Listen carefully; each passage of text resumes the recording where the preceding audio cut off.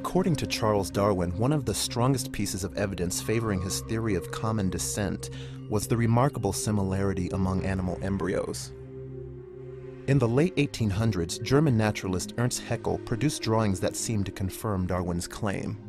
Ernst Haeckel was a, a German biologist and artist, a contemporary of uh, Darwin's, who, uh, among other things, made some famous drawings of vertebrate embryos, fish, humans, salamanders, chicks, turtles, and so on. And in those drawings, Haeckel tried to show that all these different vertebrates look very much the same as early embryos. Their early similarities showed that they came from a common ancestor, and differences arose only later. The problem is that he faked his drawings. The early vertebrate embryos don't really look that similar at all. The problem with Haeckel's drawings wasn't just that they were inaccurate, they were actually false in many cases. Uh, but the real damage was done when these drawings entered into biology textbooks decades ago and they've never really been taken out. If you open a high school biology text now or even a college biology text, you'll find these drawings, although they may not refer to them as Haeckel's drawings, and in fact, they trace their ancestry directly to Haeckel. You see the pictures of the embryos. And it's really damaged our understanding of, of development and our understanding of biology in general.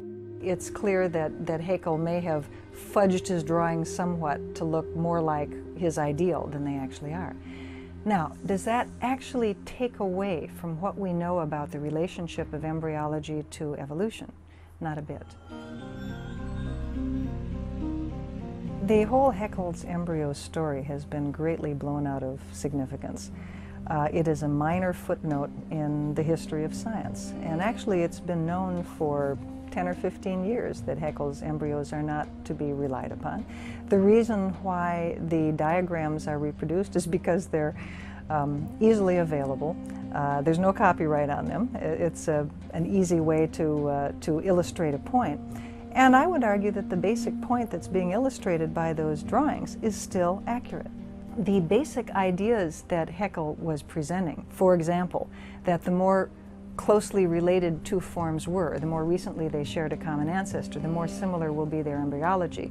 That has held up for decades, and we have nothing but solid evidence to support that from modern day researchers as well as early 20th century researchers. A second point that Haeckel made, that within, with, within two closely related forms, earlier stages will be more similar than late stages. That has been held up over and over as well. But if you go back earlier in development, the different classes of vertebrates look even more different.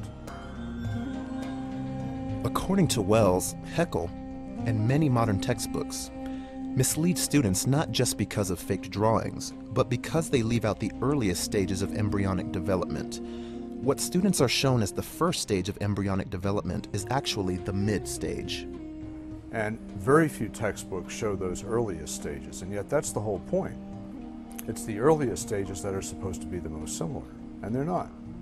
Some textbooks actually use photographs of embryos, but they pick only that stage and those classes that happen to look most similar.